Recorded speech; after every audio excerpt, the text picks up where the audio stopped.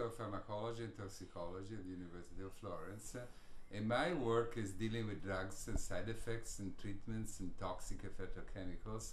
However, uh, I developed interest in other approaches for healing and treating medical diseases. And the dean of my faculty a few years ago invited me to organize a master in the application of mindfulness techniques uh, in the medical field.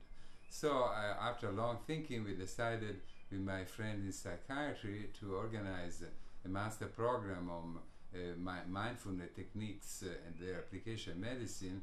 And within this program, we invited Dekyi-Lee Oldershaw, who is a very uh, relatively old friend of mine. I met her relatively long time ago.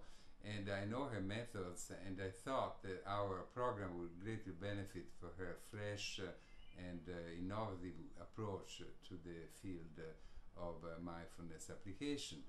And uh, everybody is familiar in this field with the techniques uh, taught and uh, by the group of the University of Massachusetts, started by Jon Kabat-Zinn and later by Santorelli, the famous MBSR.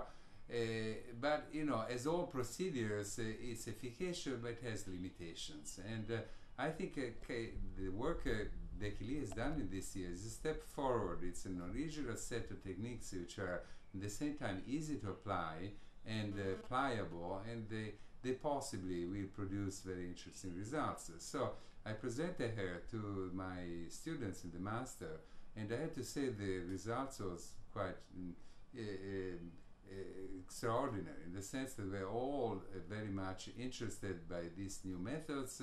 They learn them eagerly uh, within six days within uh, their own uh, in, in, small groups among themselves, and they, most of them they're psychotherapists, psychiatrists, and general practitioner, and they have all the intention, from what I, I can tell, to use this method, apply this method, both for their patients, for their clinic, also for their personal problems. So was a big success, and I'm very uh, thankful to Lee for having be available for this experience and also I think uh, it was a real good addition to the uh, master teaching because our teaching was basically oriented towards neuroscience, the basic neuroscience, and uh, the classical MBSR techniques. So the introduction of this new technique, which uses visualization transformation of the problems, I think has been really, very important addition to the traditional program. And uh, I'm convinced that we, we can proceed from here and make it into a more formal set of studies for the next uh, master programs and it could be a module to be reused in other countries as well.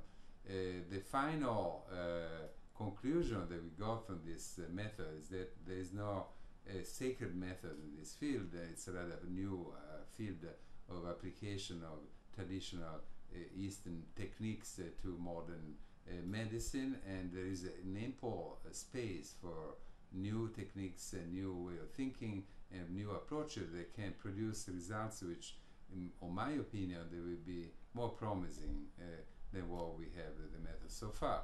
So uh, I think that uh, these modules about transformative mindfulness should be inserted in all programs of alternative medicine including mindfulness and MBSR because they could expand considerably the potential application, the clinical usefulness. And, and, I recommend to my colleagues all around the world to do similar things and uh, to repeat the experience that we had in this master program. Thank you.